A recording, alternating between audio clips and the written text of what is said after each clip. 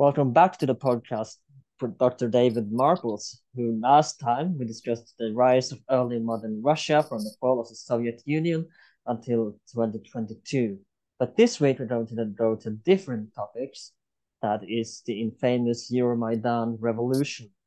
And we I read some did some research about this for this episode, of course. And there's some it seemed to be a little bit debate, was it a revolution or what that's most people call it a revolution, revolution, but was it really? Do you agree that it was, in a sense, a revolution that what took place in 2014 at Euromaidan? I think it was a change of government, which is usually the basis for a revolution. Mm.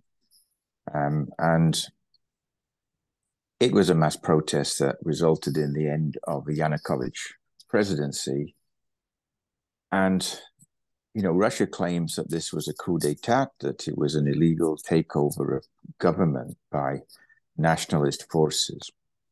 And Ukraine claims that it was all a democratic process, that uh, Yanukovych wasn't overthrown, he ran away, and he was preparing to leave for some time before he finally departed. And that therefore it was necessary to hold new elections, both for parliament and for president, which they subsequently did.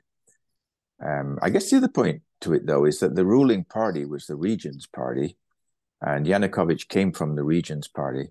He was their leader, and the Regions Party completely dissolved um, as a result of Euromaidan. So you get the elimination not only of, of the president, but also of the political party that he led. So it's a like a removal of all the leading groups in Ukrainian politics. And most of these people were based in Donbass region. So you've got a region that becomes quite alienated as a result of these these changes. So I don't know what to call it. I don't know whether I'd call it a revolution, but I would certainly, you know, call it a fundamental change of power.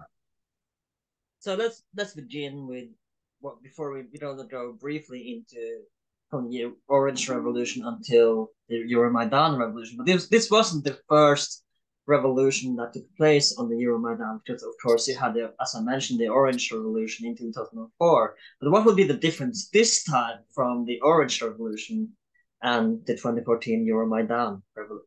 I'm gonna I'm gonna forgive me for calling it the revolution, but for the lack of better words, the Euromaidan. What would be the difference? Well, the Euro, uh, sorry, the Orange Revolution took place during a election for president, a presidential campaign, in which there were two main candidates that came forward. They were very familiar to each other. They they'd been uh, at the forefront of Ukrainian politics for a few years before that. Yanukovych for much longer, but Yushchenko at least from the late 1990s. And it was quite clear, I think, that Yanukovych was the chosen candidate, not only of uh, President Kuchma, who'd been there for two terms, but also of President Putin in Moscow. Uh, there were campaigns in Moscow in support of Yanukovych, um, and probably some funding as well came from Russia. So he did appear to be uh, Russia's candidate and also Kuchma's candidate. And Kuchma was regarded by 2004 as a corrupt president, someone who had removed some political opponents, particularly in the media, by devious means. And I think many Ukrainians were hoping for some kind of change. And Yushchenko came forward as a former National Bank chairman, head of the Our Ukraine or Nasha Ukraina party, and with a clear pro-European direction. And it was a, it was a, the first real contest, I think, where you had two completely different goals of the of the presidential candidates, and they also divided the country in terms of areas of support. It's clear that Yushchenko had the support of Western Ukraine, and probably further to the east of that, all the way to Kiev, Whereas Yanukovych's base was in was in eastern Ukraine, particularly Donetsk, but not only Donetsk, and Crimea. And that divided the country more or less into, into two equal parts. And when the votes came in, um, well, they, they came in for the first round and, and Yushchenko and Yanukovych were ahead. They went into a second round. And in that second round, um, again, they were fairly even, but Yushchenko was quite clearly ahead until a mass bunch of votes came in from the Donbass region, which put Yanukovych in the lead. And many people felt that these votes coming in from the east were delayed, but also they were much inflated. In fact, there were more votes than there were voters coming in from the Donbass, which was, I mean, you don't get, you don't even get 90% of people in an election normally voting. That's quite unusual in Europe. And in this case, you were getting like 120% in the Donbass. And as a result of that, there were protests uh, in which the sides divided, and the Ukrainian side wore orange. Uh, so the, the Yushchenko side wore orange scarves and orange ribbons. And the Yanukovych supporters wore uh, blue and yellow, uh, the Ukrainian state flag colors. And it created a, a period of mass protest, particularly in Maidan, that went on for a couple of weeks.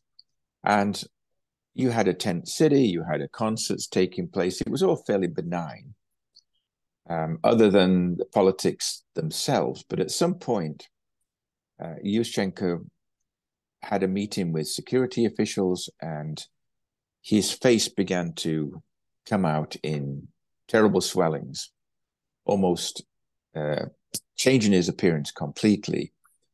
And he had to go to Vienna uh, for hospital treatment in the middle of this and probably almost killed him. So there was this kind of devious under uh, undercurrent to that period of the election. But ultimately, the second round of the election was rerun, and this time Yushchenko had a clear majority and defeated Yanukovych. And so then you got a kind of orange government coming into power. So you could say that there was no real um, change of government in that period. Kuchma was not arrested, he was treated quite well. Even Yanukovych ultimately came back as prime minister uh, as the forces began to change between president and parliament. And the original prime minister, Yulia Tymoshenko, who was a close ally of Yushchenko in the Orange Revolution, uh, was became his enemy. They were bickering all the time and never really got along.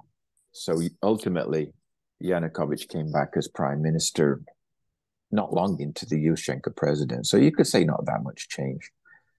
Whereas I think Euromaidan was was a different reason. It was because uh, Yanukovych um, decided not to sign an association agreement with the European Union, which he'd promised to do. And it was due to be signed in Vilnius in November 2013. And he decided instead to accept a large loan from Vladimir Putin. And it issued the prospect of Ukraine joining the Russian led Eurasian Economic Union. And that initiated a protest in Maidan in November 2013. And it was specifically over this one issue of Ukraine refusing to sign the union agreement. But that uh, Euromaidan went through several different phases. The first phase, I would say, was mainly student led, peaceful, and for one specific purpose. But on the night of November 30th, um, as the demonstrators gradually began to clear the square, um, the government, Yanukovych presumably, sent in riot police to disperse the protesters in a very violent manner. And that inspired uh, protesters to actually go back to the square on December the 1st with a much larger protest, which clearly was intended to um, end the corruption in Ukraine and end this kind of brutality that was taking place and bring in a, a much more democratic society. There were many groups involved at different points. And I think on December the 1st, it still remained peaceful. But ultimately, you would get barricades put up Um, political groups began to join in, and the the people who were demonstrating uh, became a different sort of sector of society. They became sort of not people, not students, but people in the 30s and 40s, people who actually took place in the Orange Revolution, and let's say more politically committed people. There were no obvious leaders, but you did start to get political elements coming into the square. And Yanukovych's tactics became much harsher, uh, using the police for fairly violent tactics against the demonstrators who ultimately began to respond in the same kind of manner, throwing Molotov cocktails.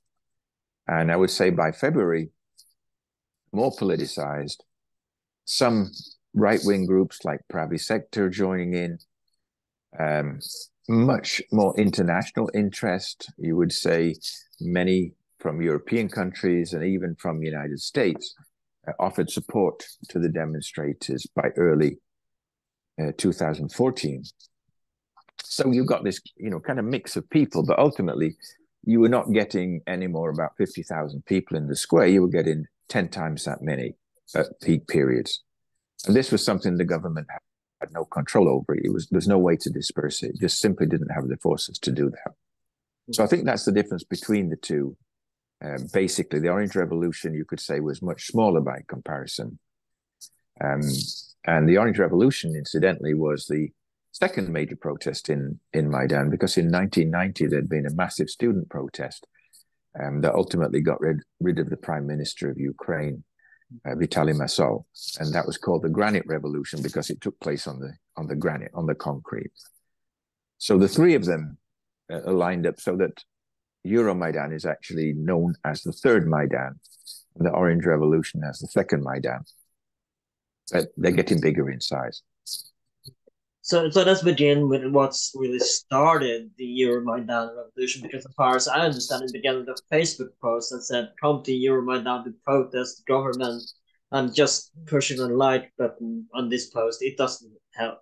It does doesn't count. You have to be there, and kind of went viral in you in Kiev and in Ukraine, just in, at least in Kiev, as far as I understand. Yeah, I think you could call it the first real social media protest or large social media protest in Ukraine because it did begin by Facebook, Facebook post.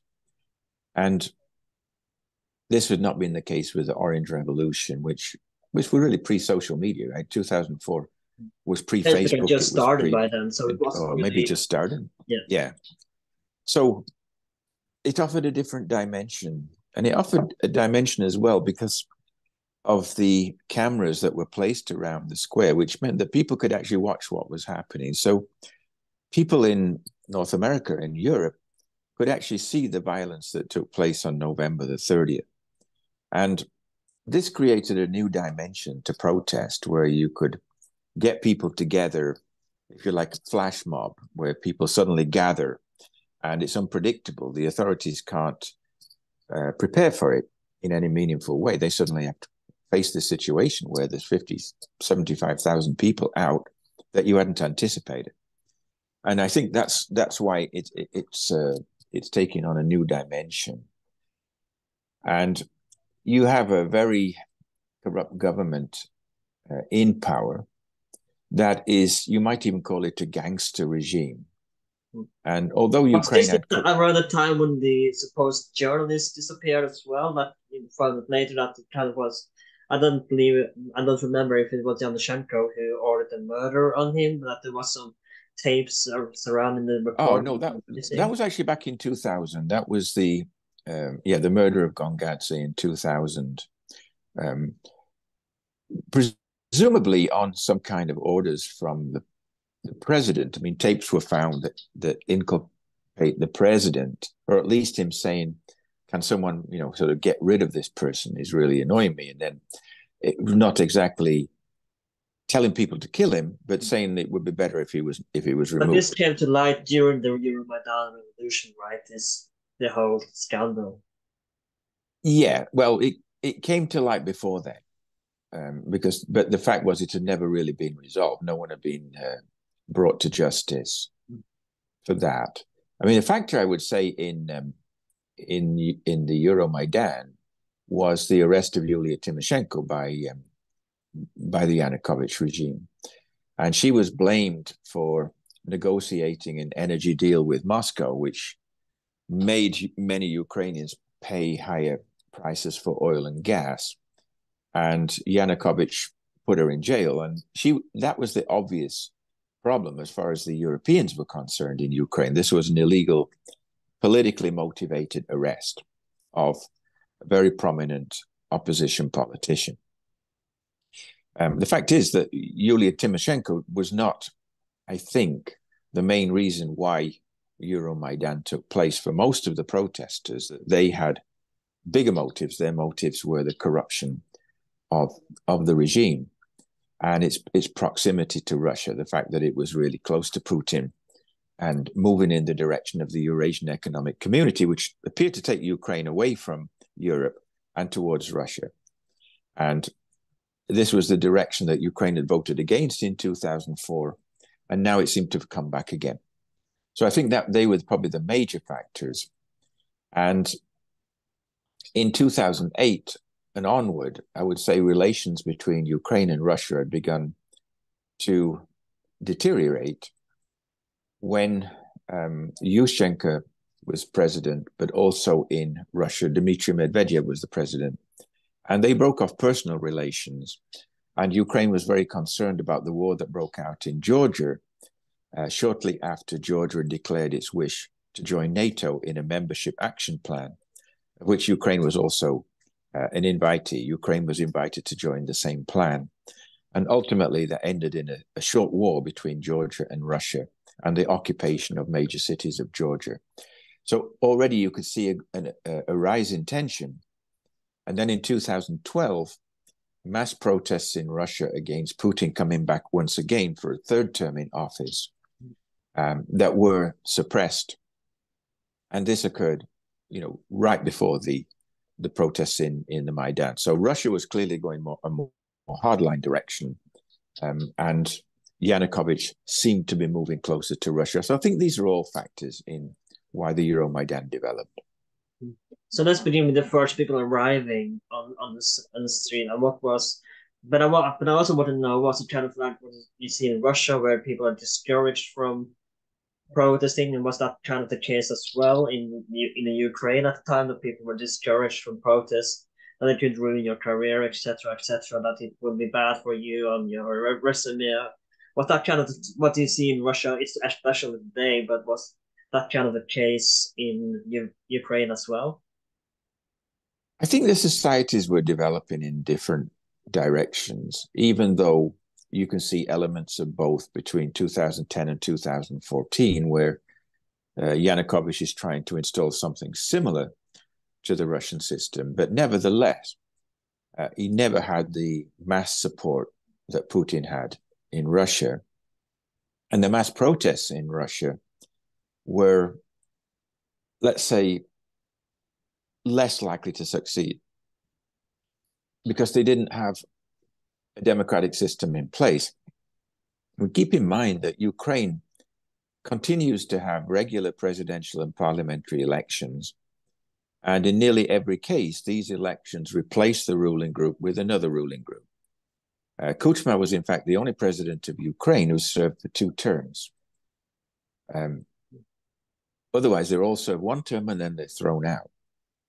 And Putin essentially is it is never removed from power. He comes in in 2000, serves his two terms, but even when he steps down, uh, because the constitution doesn't allow for a third successive term, he becomes prime minister. So he's really sort of giving orders in the background to Medvedev. It is just the last episode I remember. Yeah, he's a much younger colleague. And then in 2012, after some violence, brutally suppressed, he comes back again. And this time he begin he changes the constitution to six-year term as president, renewable, which effectively means he's going to rule unopposed for the mm-hmm. next 12 years, right? And now we've got a situation coming up next year where there's another Russian election. Putin, providing he stays healthy, will likely run and win again. You don't have that in Ukraine, don't have that kind of stability, but you have much more democracy. And even though there is corruption in Ukraine, and this is really was supposed to be the first target of the Zelensky presidency, um, it's not on the same kind of scale, and it wasn't the real goal ultimately of of the Euromaidan by February. It had started; it was an initial goal, but by February, I think there's clear evidence that they wanted a complete change of government. They wanted something different. They wanted a more democratic regime in place, and they're prepared to protest for their rights. Um, there was also a strong element against the Euromaidan, particularly from the Donbass and the south. Um, initially not violent, but quite clearly, some people were disturbed at the way things were developing and they felt it was. It is in the 2014 that the troubles in Donbass start, right? That, that, that this is where it really begin take kind of take off a little bit, where the troubles in that that region begin. Yeah, and I think the what you could say about the Donbass is not that it's it's so much pro-Russian, but that they're they're pro-Donbass. They've almost got their own little society there, and they were in power. You know, they basically had power for four years under Yanukovych. That whole group of people in the cabinet that came from from the Donetsk region, and suddenly they're removed from power. The Regions Party is gone. They've got no representation in Kiev, and there's a mass re- revolt, which some people think is sort of sponsored by by the West, by the Western powers, by United States and they feel alienated from what's happening in Kiev. And they want to retain the Russian language. They want, not because they're Russian, but most of them are still Ukrainian uh, in in terms of population. But there is a large element of ethnic Russians, but also a majority of Russian speakers who are afraid that they may lose the rights to speak their own language and that their own language may be an impediment to their careers. And it's an area of deep corruption where you've got coal mines and steelworks and other industries that have begun a steep decline and really need a lot of attention. And you don't see that coming from Kiev. And I, I see that as more of a Donbass problem that Russia exploited ultimately. But initially, you know, the invasion of Crimea was the starting point, a Russian invasion of Crimea in March of 2014 that followed the end of Euromaidan, which ended with a massacre of protesters in the square from snipers on rooftops um, and a lot of violence. And over 100 people killed in the square. But Yanukovych leaving Kiev and the whole region's party collapsing. So it's quite clear that there's going to be a change of government in Kiev.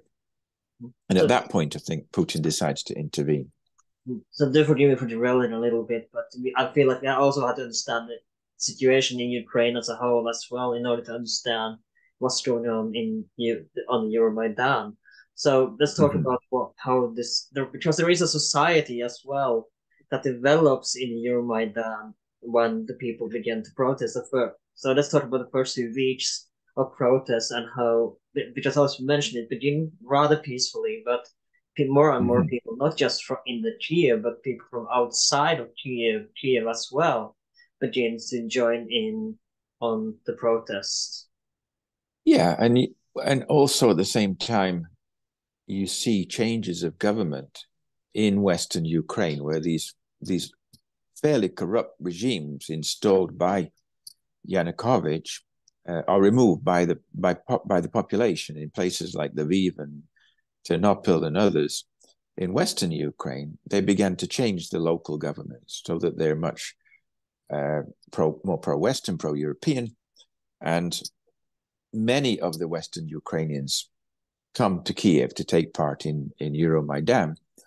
At the same time, Yanukovych is bringing in, um, I don't know how to describe these people, but sort of hooligan types, uh, soccer supporters, people like that, coming in given some funds to break up the demonstrations, to help break up the demonstrations, attack people in the streets, intimidate people generally, along with these riot police or Berkut, most of whom also come from the eastern part of Ukraine.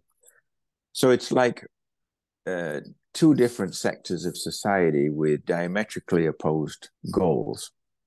And Euromaidan on a mass basis, reflecting perhaps, you know, the more pro-Western segments of Ukrainian society. And Yanukovych reluctant to resort to, let's say, the sort of violence you see in Moscow. But nevertheless, more and more, the riot police start to use violent methods, and the demonstrators begin to respond. So by February 2014, you've got a lot of guns, um, other weapons in that square. So it becomes quite confused, I think.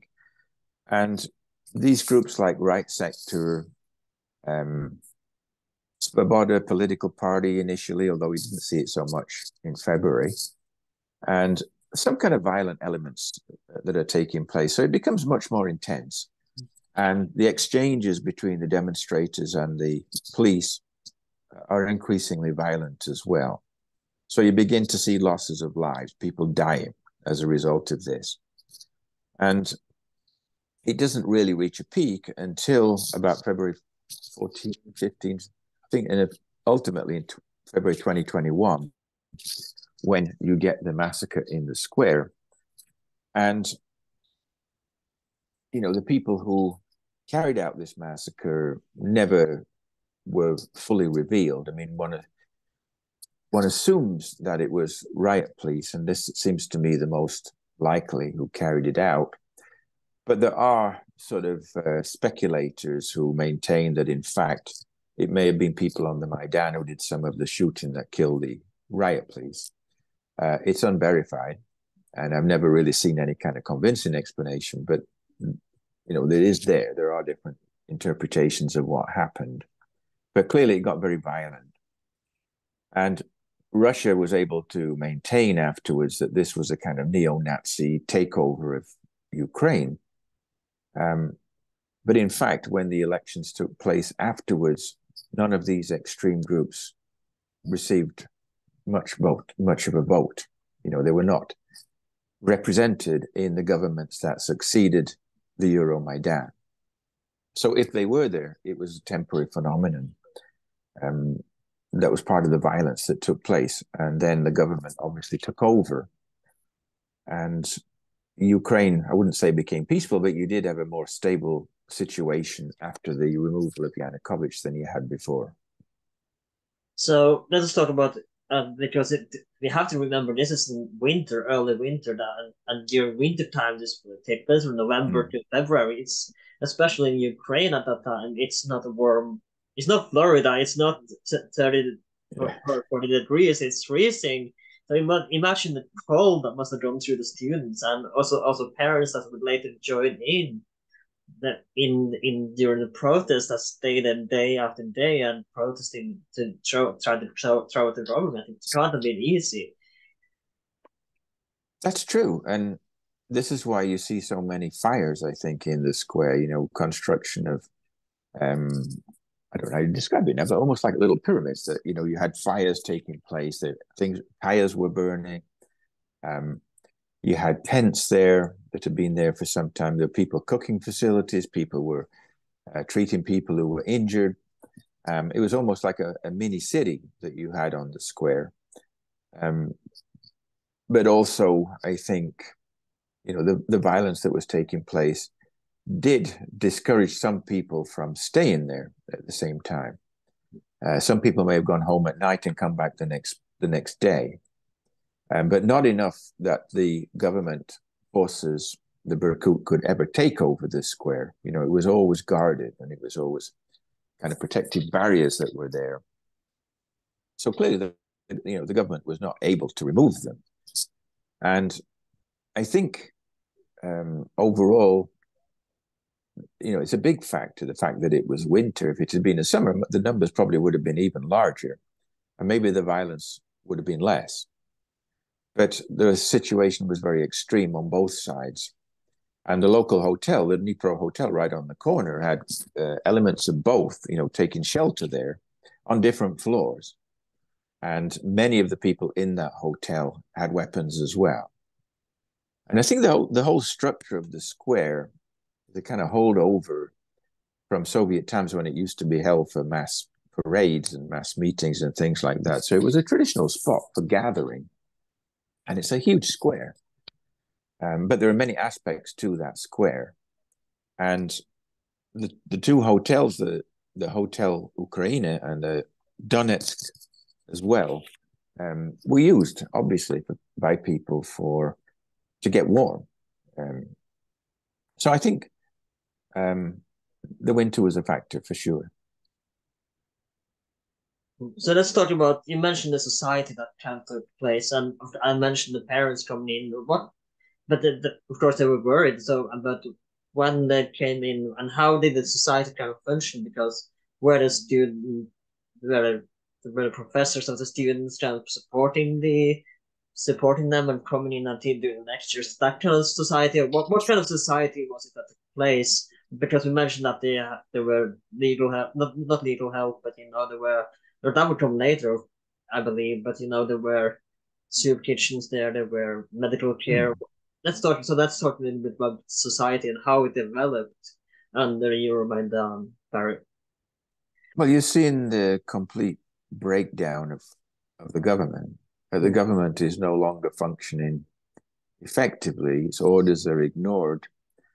Um, its president is living in a in a palatial mansion about 20 kilometers away, not part of the scene, there's a great fear of of Russian intervention. Um, I think a fear of Russian intervention in Kiev, in particular, which which didn't materialize. Uh, Russia took a different direction, um, and so I would say it's it's an unstable process, and it's unstable because there's no clear there was no clear leadership of Euromaidan. You can't you cannot say there was a particular leader in place who was leading this rebellion. There wasn't. Um, whereas in the Orange Revolution, you have Yushchenko and, and, and Timoshenko as defined leaders, if you like, of, of that uprising. This time you don't. You have different groups coming in representing more and more extreme factions, I would say. And this is why you were able ultimately to achieve a result that you couldn't go back, something that didn't happen in 2004. This time they went the whole way, and ultimately the government was removed. You've also got the European Union uh, governments very worried, and, and the French and German foreign ministers coming into Ukraine uh, and trying to reach an agreement between the cabinet and the protesters and, and Yanukovych, and that a provisional agreement was reached with the help of Germany and France that you would have uh, a cessation of hostilities between the two sides. You would have new elections, which were scheduled for December 2014, and Yanukovych would be allowed to stay in power between February and December, but then there would be elections, and that these would be monitored by European observers. But the protesters refused to agree to this. They didn't want Yanukovych to stay until December. They wanted the change immediately. And so the European intercession, if you like, uh, failed because by that time the two sides were so polarized.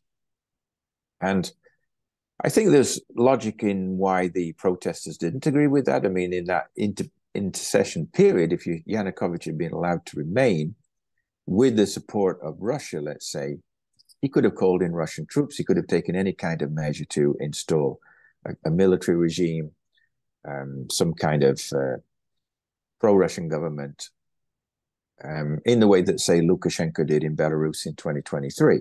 You know, the threat was always there that Russia would, would come in and would be behind him. And that's how he was able to stay in power. In Ukraine, that didn't happen, and, and that's because the protesters didn't agree. Uh, with with this European idea. So I think that that was really the main attempt to reach an agreement.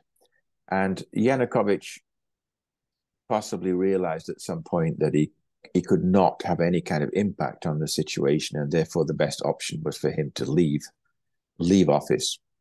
Um, and he flew, you know, he moved to Donbass, and then he was in Crimea for a while. Ultimately, ended up in Russia. Um, but interestingly, even though Russia invaded Crimea after that, they never attempted to reinstall Yanukovych. You know, never, that never came up on the agenda that he would come back as a president. It was extremely uh, unpopular with with much of the crowd, and even even I think the supporters of Yanukovych were horrified by the kind of regime he'd put in place. So, so let's talk about. You mentioned some of your aid that the European Union or France tried to help out in the Euromaidan, but let's talk about the international press and how the the, the international press came of media came to cover the situation. And whether I've not imagined they were pro the pro, pro protesters, but how did international media handle the situation that took place in Euromaidan? Well, the international media, I think, was uh, Western media in particular was supportive and regarded these protests as legitimate and saw Ukraine's aspirations as moving towards Europe and, and more democratic society that Ukraine wanted something different from this kind of post-Soviet era that, that had been in place since 1991, uh, where you had leaderships that were essentially the same or descended from what you had in the Soviet period. That is, the first two Ukrainian presidents were very much tied to the Soviet regime. Um, the third president, Yushchenko, wasn't, but he was a great disappointment. Um, it's another question, of course. And then you had Yanukovych. Once again, you're going back to this pro pro Moscow basis, and I think Western Europe was sympathetic, but at the same time, it was nervous about the violence and how far it would go, uh, and that Ukraine wouldn't descend into some kind of civil war situation, which would cause chaos. I think the the view was that Ukraine um, was part of the Eurasian, uh, so the European Partnership Project, and that had aspirations to become associate member and ultimately full member of the European Union, and that was that should be supported. That most people in Ukraine would support that. NATO was another issue in 2014. That was far from clear that Ukraine ever would have aspirations to join NATO, and that most people would be in favor of that. Uh, that wasn't the case in 2014. And I think at that time, if you look at opinion polls in Ukraine, which I did at the time, they're not particularly anti-Russian either. I mean, in terms of Russian population, there's not a, great anti-Russian uh, sentiment, and vice versa. But they do not want to be controlled by Russia. They don't want Putin making decisions that affect Ukraine's society. And I think that is the that is where things began to to peak in terms of violence that was taking place and how far people were prepared to go to secure this. And United States, Europeans, um, very much in favor, I think, in their media of what was happening. Russia, obviously, very much opposed and very very supportive of what Putin wanted to do, and that is basically intervene, take back Crimea, and on the grounds that the Russian population there was in some danger from this group of fanatics in Kiev. Now, so let's talk a little bit about. You mentioned Russia, the Russian side. Let's talk about the Russian side as well. Sorry for interrupting you, but let's talk about how Russian media and you know the Kremlin reacted to the Euromaidan, of course, in from from the start of the revolution until it developed and escalated further. Well, it, it regarded the Euromaidan as entirely um, Western Western in origin. The, the West, Westerners had encouraged Ukrainians to protest. They were providing funding for the for the protests and supported the change of government. And they used as evidence the fact that some leading U.S. politicians had actually come to the to the Maidan, supported the process. Uh, John McCain was there. Um, several others. Um, had appeared with Ukrainian politicians in the square, and, and, and therefore they were trying to take Ukraine away from its natural partner, mother, mother Russia. And this, I think, aroused a lot of sympathy in Russia. And the fact that there were certain parts of Ukraine that felt intimidated, like the Donbass, like Crimea, like Odessa region, things like that, where they were not, they very much opposed what was happening in the Maidan. But remember, in February of 2014, um, the Sochi Winter Olympics were taking place. This was a, a huge, prestigious event for Russia. And Putin, in particular, and several of his cabinets were at these games all the time. I mean, they were simply watching the athletes, they were praising them, they appeared on the stage in the crowd. And this was a big diversion. So, for some time, I think, um, Russia was preoccupied. But as the situation in Kiev escalated, Putin decided to act and went to the parliament and asked for military powers, special military powers to intervene in Crimea.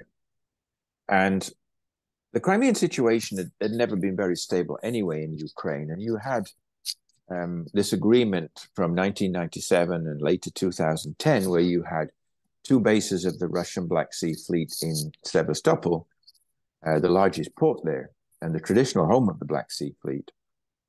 83% of that fleet was Russian fleet, and only a small part was the Ukrainian fleet. So they were already there at the bases. So the potential for an invasion was always in the background.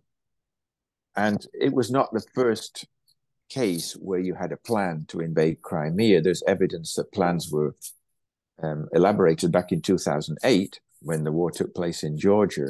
There was also a plan to invade Crimea that was never put into operation. So now it could be put into operation in 2014, and it just took place very quickly. Uh, the Ukrainians were in no way prepared for this. The population had a majority of ethnic Russians, and that wasn't the case for anywhere else in Ukraine. So, and also by taking Crimea, Putin gained a lot of popularity because the, the sentiment in Russia about Crimea was always that this, this belongs to us. It was taken away by some ridiculous means in 1954. And then in 1991, when the Soviet Union collapsed, it, it just became a part of Ukraine. But it was never intended to be that way. And the population had never wanted that. So this was a vulnerable area of Ukraine. And Russia decided that this would be the time to intervene. And having done that so, so successfully, then why not try the same thing in the eastern part of Ukraine and see if the population there will respond if Russia provokes changes of local governments, small uprisings, etc., in the major cities of eastern Ukraine, Kharkiv, um, Luhansk, Donetsk, Dnipro, Dnipropetrovsk, as it was called then, these major cities, um, and see what will happen. And it was only really, I think, in in Luhansk that you got a clear move in favor of a of a Russian pro-Russian government. All the other cities rejected it. Um, but in Donetsk, ultimately, um, you got a group of hardliners that managed to take over, and a, a referendum then took place that declared them uh, independent. Independent uh, regimes called Donetsk People's Republic, Luhansk People's Republic, uh, that were that continued to be ruled by these local elements. But a war then breaking out as Ukraine tried to to regain them in in 2014. No, I do think we're running out of time, unfortunately. But let's talk about the end. So let's talk about the end of the Euromaidan and how the violence escalated and Yushchenko running away from the parliament and how he's he was caught at the airport as well and was fleeing, wasn't he? Yeah, yeah, he was he was he was seen at the airport. Um and you know, his running away was was his decision. You know, it was like in many ways, although he was a gangster type who'd been arrested in his youth twice and imprisoned for some time, um, he was fairly cowardly when it came to the crunch and dealing with this uprising, and did not did not want to use mass force. I mean, I think that's fairly obvious that he, although there were massacres of of, of over hundred people, and he'd ordered the violence uh, he was not prepared to go into some kind of mass war. And he ran away ultimately. Whereas I think you could say that someone like Putin would have cleared the square, or Lukashenko, for example, would have tried to clear the square completely. He didn't go that far. And once he once he'd been removed from the scene, then it was fairly straightforward how Ukraine would proceed. They used methods that they used before. They had an interim president, uh, Alexander Turchinov, and they organized new elections, at which the Regions Party would not be taking part, and ultimately a presidential election, which elected a traditional old-style businessman politician, Petro Poroshenko, who was, I would say, middle. You know, if you look at his political views, he's middle of the road. He's pro-European, but he's not a fanatic, and he was not someone who was likely to um, to upset Putin too much, since Putin had seen him around for a long time, and and in fact, Poroshenko was one of the original founders of the Regions Party. But it wasn't as if it was something completely new. Um, ultimately, Poroshenko moved uh, strongly in a pro-European direction, and became much more hostile toward Russia in his actions, uh, nationalizing the Ukrainian Orthodox Church, for example, imposing martial law at one stage as after an altercation in Crimea, uh, putting much emphasis on the Ukrainian language and things like that. But when he first came in in 2014, I don't think it was obvious which direction Ukraine would, would go in particular. Um, and the parliament was completely representative of Ukrainian society. I mean, apart from the loss of the regions, um, the opposition bloc was still very strong. Communists could still enter parliament at that time. It was only later that they began to be banned. And you had, I would say, a very middle of the road kind of parliament that replaced the original one. Mm-hmm. So you could say that was ultimately quite peaceful, except for the fact that they'd lost Crimea and also increasingly savage war taking place in the Donbass, which Russia ultimately intervenes at least twice in major battles in the fall of 2014 and spring of 2015. And then ending, if you like, on a, an agreement signed in Minsk, um, mediated by Lukashenko, and called the Minsk Accords, uh, two Minsk Accords. Uh, basically, the idea was to remove all the major forces fighting in the Donbass, um, install a demilitarized zone, uh, Ukraine to give local power, if you like, to give more autonomy to the Donbass, and then ultimately to have control over its eastern border again, which it never, in fact, got uh, an unsatisfactory agreement in many ways and one that could not be fulfilled by either side. Uh, but with the Germans and the French once more coming in and taking part, as well as Putin, Yanukovych, and even the two leaders of the breakaway governments in the Donbass signed the final document uh, of the Minsk Accords. But as we see today, it was only a temporary, temporary kind of truce. I would ask if Yanukovych has not left hmm. Parliament would have ended up standing trial for. I'm pretty sure he would have been. He would have been arrested. Yeah, he would have been arrested and put on trial, and almost certainly convicted, because I think you know majority of people, slight majority you could say, supported Euromaidan, but there were members who were opposed to Maidan who felt Yanukovych was an extremely corrupt president. I think he was. It was evident to to almost everyone that this was a, a gangster regime. Um, somewhat reminiscent to what we have in Russia today, but it would, it would only have got worse if it had come back again. No, I, I also want to ask before we, we go, because, you know, the way things turned out, as you mentioned, it wasn't conceivable that Ukraine would join NATO in 2014, but the way things have been since until 2023 today, with the Ukrainian war and how the government changed since the Euromaidan. Do you see then, after the war is finished, it, it do you see any possibility of Ukraine joining NATO?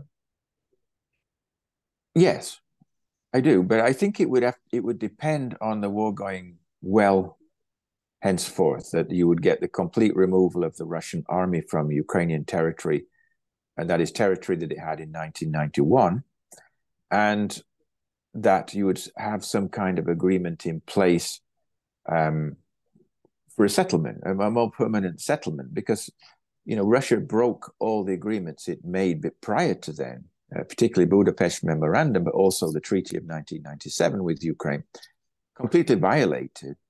You would need some kind of agreement in place that would preclude this happening all over again. And I don't think you could just get that from, say, the Western powers, the, the Western powers dictating what Russia's going to do. It would take much more. It would take uh, other major powers, thinking perhaps of China, India, but also the intervention of some middle powers like Turkey, perhaps Israel, others around the Black Sea region,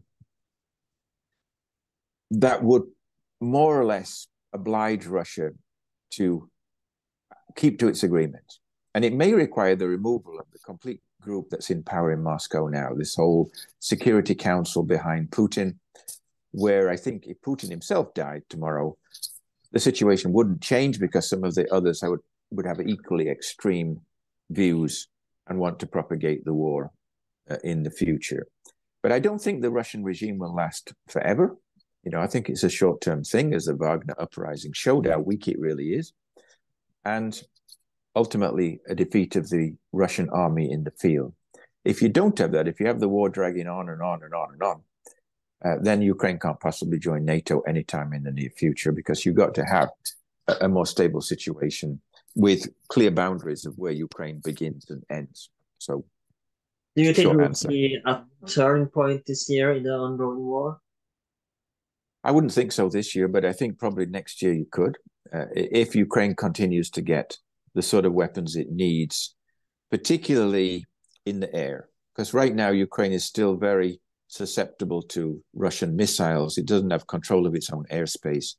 And in order to win a war, you really need that, um, because otherwise the danger is always going to be there of further bombs and missiles attacking Ukrainian territory.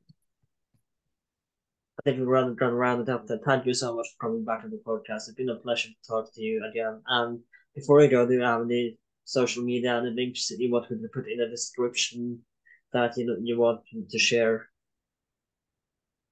Um, well, I think just overall that the commitment of the European Union to Ukraine's future and the commitment of the United States and Canada is absolutely crucial.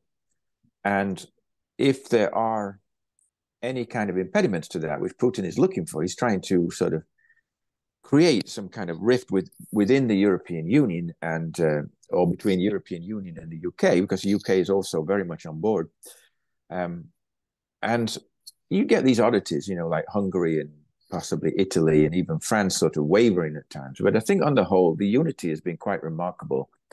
And the fact that Sweden and Finland have now joined NATO only strengthens this. And I think the Europeans have to encourage middle powers, powers who have not committed themselves to Ukraine's cause and to Ukraine's future, have to be brought on board as well. You need more. Um, so that's I, I, would sort of end on that note that the more powers that can be brought in to join the European Union, UK, and North America, the stronger Ukraine's case will be, and the stronger Ukraine's future will be.